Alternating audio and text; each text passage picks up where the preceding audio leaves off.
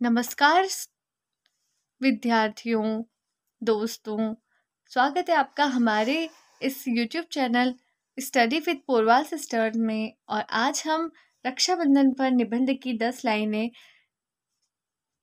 याद करने जा रहे हैं तो चलिए शुरू करते हैं।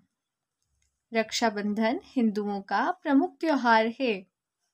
रक्षाबंधन भाई बहन का त्योहार है। तीसरी लाइन यह सावन माह की पूर्णिमा को मनाया जाता है।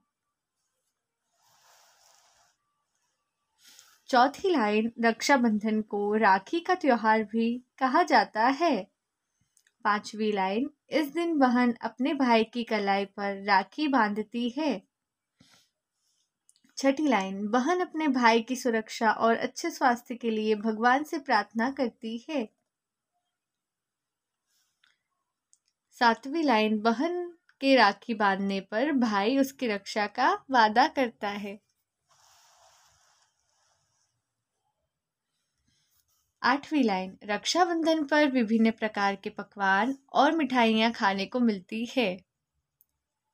नवी लाइन, यह पूरे देश में बहुत खुशी के साथ मनाया जाता है। दसवीं लाइन, यह त्योहार भाई बहन के एक दूसरे के प्रति प्यार और स्नेह को दर्शाता है। आशा करती हूँ आपके लिए यह वीडियो हेल्पफुल रही होगी। तो प्लीज़ चैनल को सब्सक्राइब कर लीजिए इसी तरह की वीडियोस देखने के लिए और चैनल को सब्सक्राइब कर लीजिए, लाइक कर दीजिए इस वीडियो को, शेयर कर दीजिए अपने दोस्तों के साथ। धन्यवाद आपका यह वीडियो देखने के लिए। Thank you so much.